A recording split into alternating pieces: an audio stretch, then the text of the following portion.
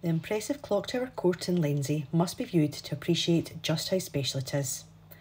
Decorated in Farrow Ball paint with luxury Karndean flooring throughout, everything is finished to an exceptionally high standard. Clever additions such as this feature window allows natural light to flood into the formerly internal bathroom, and in the hall, a commissioned piece of glasswork, a nod to the building's namesake. Along the wide hallway with huge storage cupboards, turn to find a home office space and a lovely, bright second double bedroom with fitted storage. Next, my favourite room, the breathtaking open plan lounge, dining and kitchen with high ceilings, decorative cornicing, ornate fireplace and huge sash windows. This special room has to be seen to be believed.